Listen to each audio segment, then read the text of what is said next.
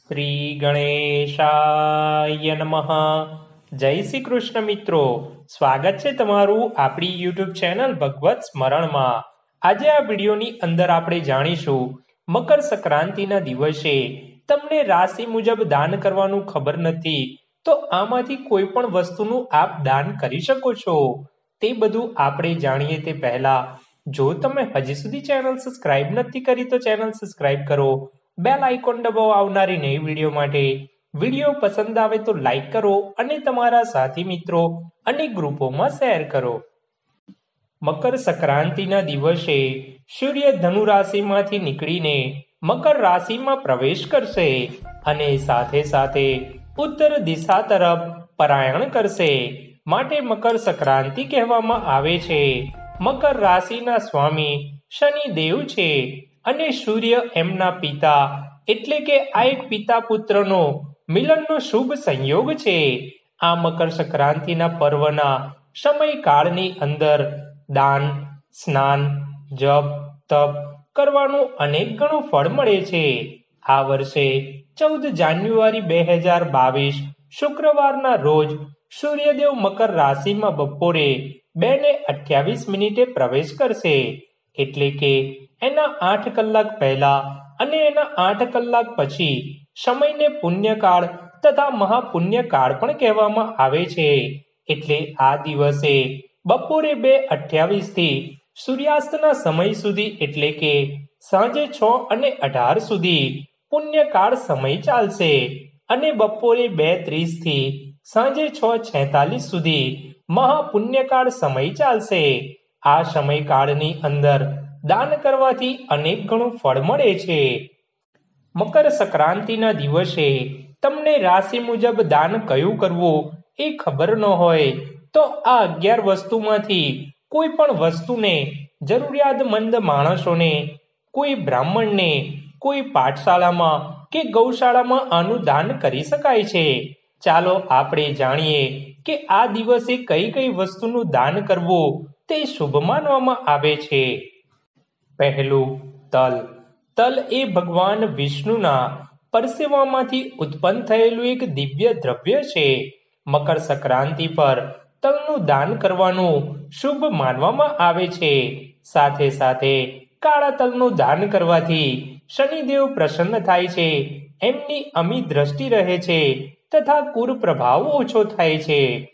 બીજું ખીચડી. ચોખા એ ચંદ્ર તથા શુક્રનું કારક છે. મકર સંક્રાંતિના દિવસે ખીચડી ખાવી તથા એની જરૂરિયાતમંદ લોકોને તથા ગાય, કૂતરા વગેરેને ખવડાવવું જોઈએ. તેનું શુભ ફળ મળે છે. તેનું દાન કરવું વધારે પુણ્ય માનવામાં આવે છે. ત્રીજું, ગોળ.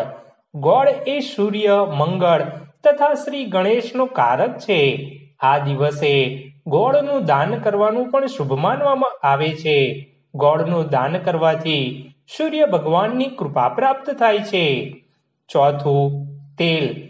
આ દિવસે તેલનું દાન કરવાનું શુભ મનાય છે. તેલ શ્રી રામ ભક્ત હનુમાન તથા ન્યાયના ગ્રહ શનિદેવને અર્પણ કરવાથી શનિદેવની કૃપા પ્રાપ્ત થાય છે. પાંચમું, અનાજ.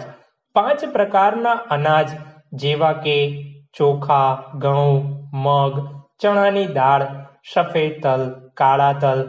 મકર સંક્રાંતિના દિવસે આ પાંચ પ્રકારના અનાજનું દાન કરવાથી સર્વ પ્રકારની મનોકામના પૂર્ણ થાય છે.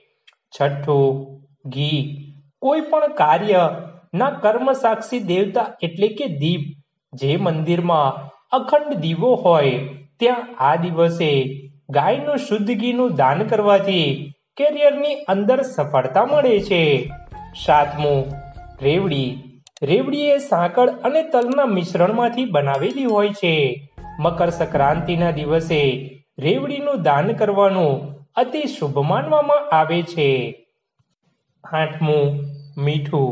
દરેક કાર્યની શરૂઆતમાં જેમ શ્રી ગણેશનું ધ્યાન ધરવામાં આવે છે, તેમ કોઈ પણ રસોઈનું કાર્ય કરતા હોય તેની અંદર મીઠાનો સૌથી પહેલા લેવામાં આવે છે. આ દિવસે મીઠાનું નવું પેકેટ દાન કરો. આ શુક્રને મજબૂત બનાવે છે. નવમો, ધાબળો. મકર સંક્રાંતિના સમયે કુદરતી વાતાવરણમાં થોડી વધારે શીતળતા હોય છે. આ સમયે કોઈ ગરીબ કે જરૂરિયાતમંદ લોકોને ધાબળો આ દિવસે દાન કરવામાં આવે તો તે શુભ માનવામાં આવે છે તથા રાહુ અને શનિદેવ તમારી કુંડળીમાં શાંત થાય છે. દસમું, ચારો. લીલો ઘાસ ચારો જેમાં રાહુનો કારક માનવામાં આવે છે. આ દિવસે ગાયને લીલો ચારો ખવડાવવાથી રાહુદેવની કૃપા પ્રાપ્ત થાય છે. અગિયારમું, નવા વસ્ત્રો. આ દિવસે ગરીબ અને જરૂરિયાતમંદ લોકોને નવા વસ્ત્રોનું દાન કરવામાં આવે છે. મિત્રો, આ હતી અગિયાર વસ્તુઓ જે મકર સંક્રાંતિના દિવસે દાન કરવાથી શુભાનું શુભ ફળ અચૂક મળે છે. હું આશા રાખું છું કે આ વિડીયોની અંદર તમને બધી સમજણ પડી ગઈ હશે. મને સાંભળવા માટે આભાર અને સૌને મારા રાધે રાધે.